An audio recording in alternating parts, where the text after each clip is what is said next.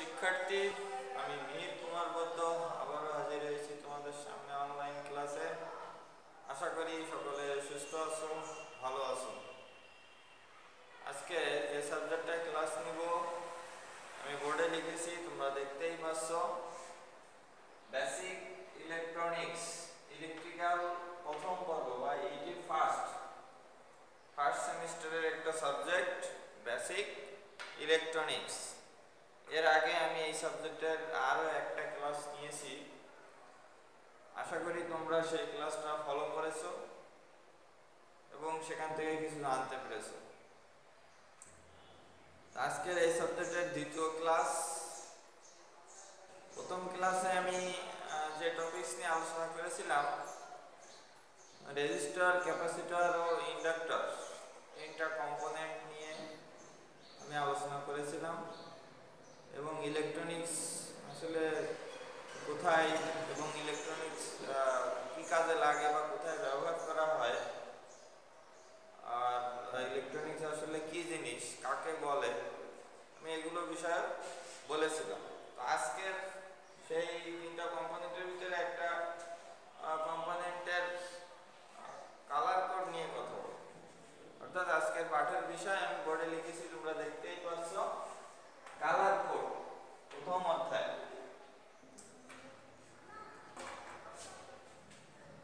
প্রথম অধ্যায় colour code আসলে শুরুতে আগে জানতে হবে যে কালার কোড কাকে বলে আমি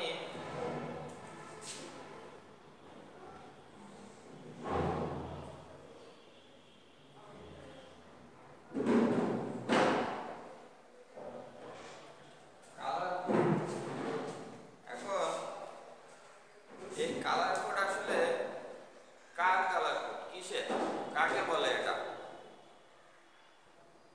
কালার কোড হচ্ছে আমি এর আগে যে তিনটা কম্পোনেন্ট নিয়ে আলোচনা করেছি যেমন রেজিস্টার ক্যাপাসিটর এই দুইটা কম্পোনেন্টের মধ্যে এই কালার কোডের সম্পর্ক অর্থাৎ একটা রেজিস্টার বা একটা ক্যাপাসিটর এর মান নির্ণয়ের জন্য একটা নির্দিষ্ট পদ্ধতি আছে সেই পদ্ধতি অবলম্বন করে আমরা মান নির্ণয় করতে পারি এখন আমরা তো মিটার দিয়েও মান নির্ণয় করতে পারি কেন আমাদের কালার কোড দরকার আগে কালার কোডের সংজ্ঞাটা আমরা একটু জেনে আসি যে রেজিস্টার বা ক্যাপাসিটরের গায়ে কিছু রং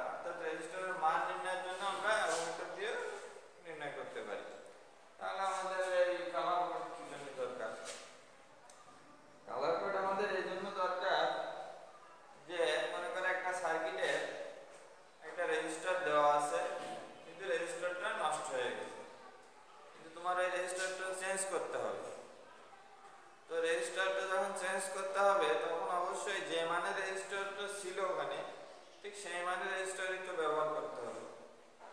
তাহলে যদি রেজিস্টারটা নষ্ট হয়ে যায়, তো সেক্ষেত্রে তার মান আমরা কীভাবে মিটার দিয়ে বের করব? মিটার দিলে তো মিটারে কোনো পার্ট দেবে না। তাহলে তার মান আমরা কীভাবে বের করব? তখন আমাদের উপায় আছে কি? যে রেজিস্টারের গায়ের যে ড্রমগুলো রিং আকারে দেওয়া থাকে, সেই রিং দেখে আমরা তার মান নির্ণয় করি সেই মানের রেজিস্টার আবার সেখানে বসাতে হবে। কীরকম থাকে বাস্তবে একটা রেজিস্টার দেখতে এরকম।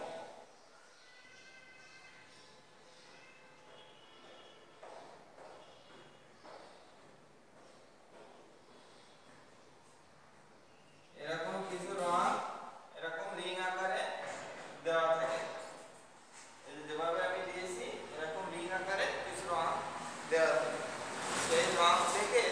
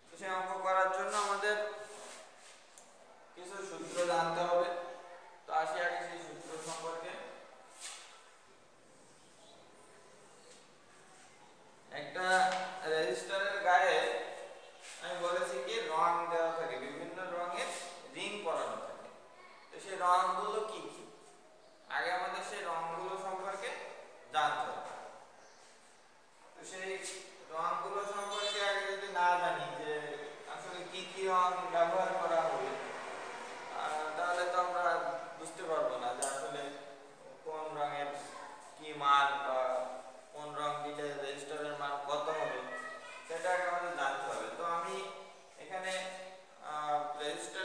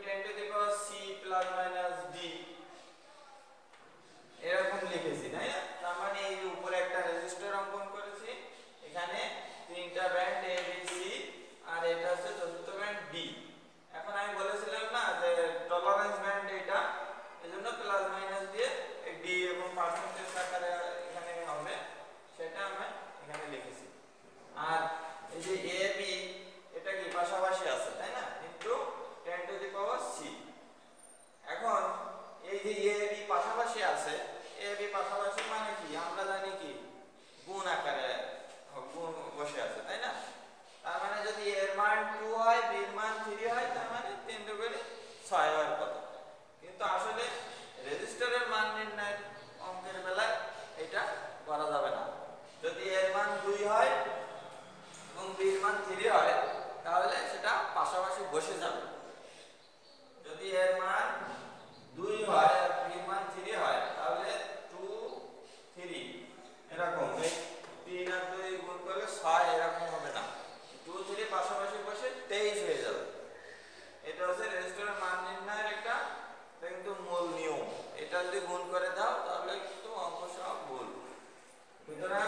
এখানে পাশাপাশি বসে যাবে, আর যেখানে গুণ হবে, সেখানে আমি গুণ চিহ্ন দিয়ে দিয়েছি।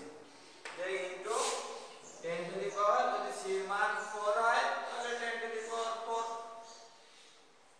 4 বসে যাবে এইবার প্লাস মাইনাস যদি এটা সোনালি হয় তাহলে কি 5% তাহলে 5% হবে এইটা হবে এখন এটা কার ফাইভ পার্সেন্ট এই এই যে ফাইভ পার্সেন্ট লিখেছি এই ফাইভ পার্সেন্টটা আসলে কিসের কোন একটা নির্দিষ্ট মানের ফাইভ পার্সেন্ট হবে তো নাকি তো সেই ফাইভ পার্সেন্টটা কিসের ফাইভ পার্সেন্ট এই পাশে যে মানটা পাবো সেই মানের ফাইভ পার্সেন্ট হবে অর্থাৎ এখানে গুণ হবে কত তেইশ গুণ একের পরে চারটা শূন্য তেইশের পরে চারটা শূন্য প্লাস মাইনাস ফাইভ পার্সেন্ট এখন এই যে দুই লাখ তিরিশ হাজার এই দুই লাখ তিরিশ হাজারের পাঁচ পার্সেন্ট কত হয় সেটা বের করতে হবে সেইটা বের করে সেই মানের সাথে, এই দুই লাখ তিরিশ হাজারের যোগ হবে একবার আর একবার বিয়োগ হবে। তো যেহেতু এখানে প্লাস মাইনাস আছে, তো সেই যোগ করার পরে যে মানটা পাবো আর বিয়োগ করার পরে যে মানটা পাবো, এই দুইটা মানের মধ্যেই সীমাবদ্ধ থাকবে ওই রেজিস্টারের মান।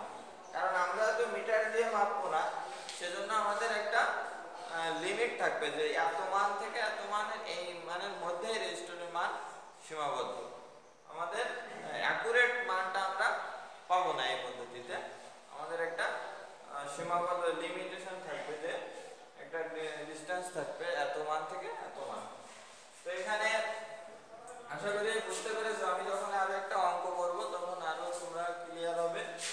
তো এখানে তোমাদের মনে প্রশ্ন আসতে পারে যে আমি এখানে তো তিনটা ব্যান্ড দিয়েছি, আর এই পাশে আর একটা মোট চারটা ব্যান্ড অঙ্কন করেছি। একটা রেজিস্টার তো একটা রেজিস্টারে কি চারটাই রিং থাকে, পাঁচটা তো থাকতে পারে, বা তিনটা তো থাকতে পারে। হ্যাঁ এরকম হতে পারে। তো যদি তিনটা থাকে, তাহলে বুঝতে হবে কি, যে আমাদের টলারেন্স ব্যান্ডে কোনো কালার নেই। তিনি যদি তিনটা রিং থাকে, তাহলে বুঝতে হবে টলারেন্স ব্যান্ডে কোনো কালার নেই। সেক্ষেত্রে টলারেন্স হবে টোয়েন্টি পার্সেন্ট এই ফাইভ পার্সেন্ট আর হবে না তখন তখন টোয়েন্টি পার্সেন্ট হবে। তখন এই স্যাম সূত্র দিয়ে আমরা এটা করব। কিন্তু যদি এরকম হয় যে পাঁচটা কালার আছে এভাবে টলারেন্স ব্যান্ডও আছে, আবার